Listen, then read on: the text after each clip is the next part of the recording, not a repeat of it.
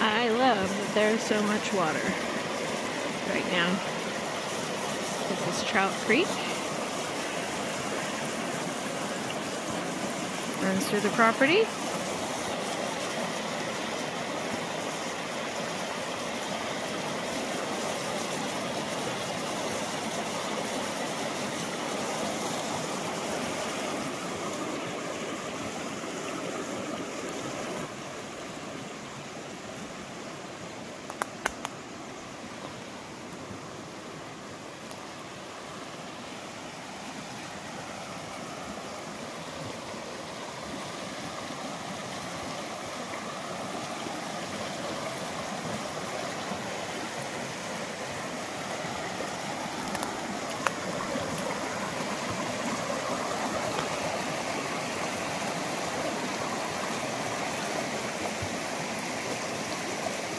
And there's the real estate dog.